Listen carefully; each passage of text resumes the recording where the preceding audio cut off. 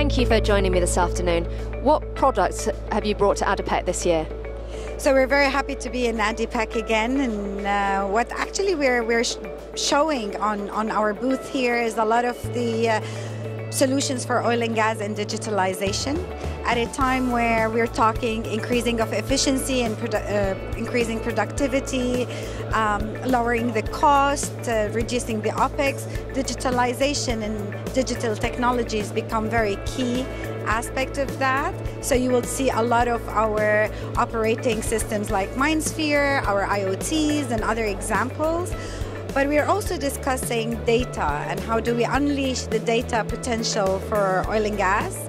Um, and of course, you can't talk data without talking security. So cybersecurity is also an item that we're looking at, and we brought in ADIPEC and its applications for oil and gas. And do you find digitalization is what your customers are really looking for?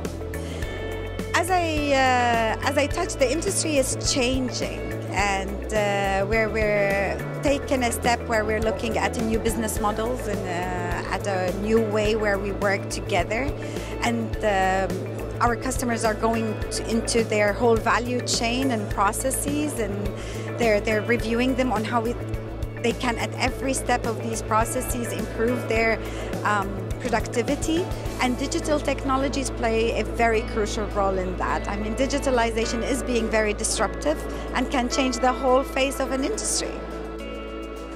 With the increase in oil prices, are you optimistic about 2018? I'm, I'm very optimistic about 2018 and uh, the, the oil prices is one aspect but what we see is the new reality.